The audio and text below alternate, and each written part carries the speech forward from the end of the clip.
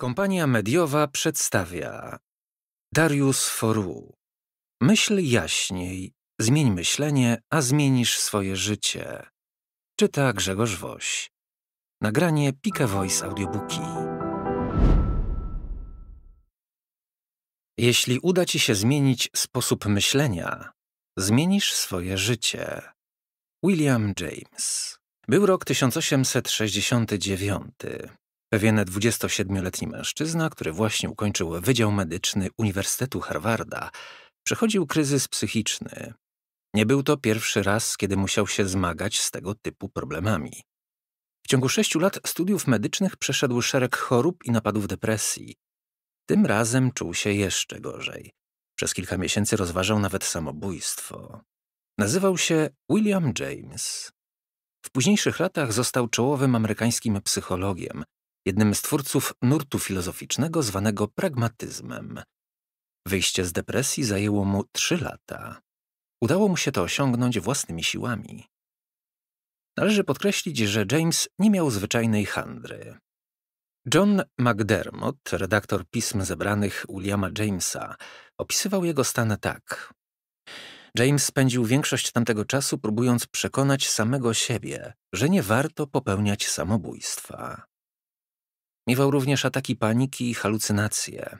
Nie była to dla niego nowość. Jego ojciec cierpiał wcześniej na takie same zaburzenia. Z tego właśnie powodu James był przekonany, że jego sny mają podłoże biologiczne, więc nie da się ich wyleczyć. Jednak w 1870 roku, po lekturze eseju autorstwa francuskiego filozofa Charlesa Renouviera, dokonał się w jego sposobie myślenia przełom. W swoim dzienniku zapisał: Wydaje mi się, że wczoraj wydarzył się w moim życiu kryzys. Skończyłem czytać pierwszą część drugiego tomu esejów Renouviera. Nie rozumiem, dlaczego jego definicje wolnej woli, trzymanie się jakiejś myśli, ponieważ się dokonuje takiego wyboru, chociaż mogłoby się pielęgnować innego rodzaju myśli, należy rozumieć jako definicję iluzji. Tak czy inaczej, założę na razie, przynajmniej do przyszłego roku, że nie jest to iluzja. Moim pierwszym aktem wolnej woli jest uwierzyć w wolną wolę.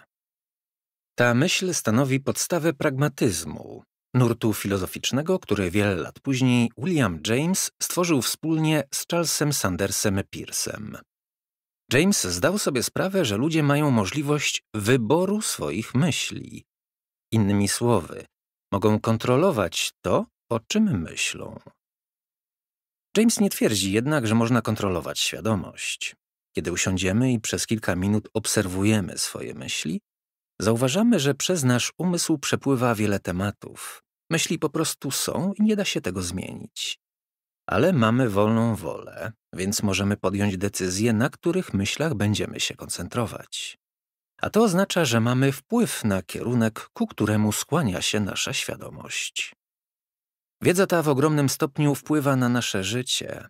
Istnieje różnica pomiędzy stwierdzeniem nie mam wpływu na to, jak się czuję, a konstatacją czuję się tak, ponieważ podjąłem decyzję, żeby się tak czuć. Najważniejsze jest tu podjęcie decyzji. Właśnie o tym jest ta książka. Dzięki praktyce można się nauczyć kontrolować swoje myśli, żeby móc decydować, o czym się będzie myśleć. Jeśli potrafi się lepiej kontrolować własne myśli, można poprawić jakość swojego życia i ścieżkę swojej kariery zawodowej.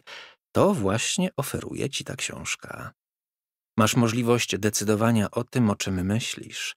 Skoro jakość twojego życia zależy od twoich myśli, to uważam, że jest to najważniejszy element życia.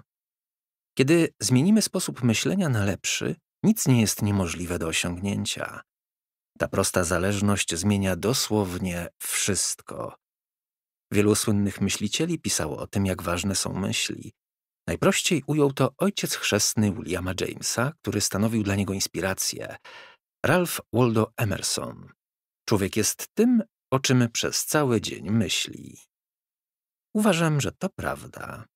Należy sobie jednak uświadomić, że za myślami idą czyny, Oznacza to, że nie da się zmienić sposobu działania bez zmiany sposobu myślenia.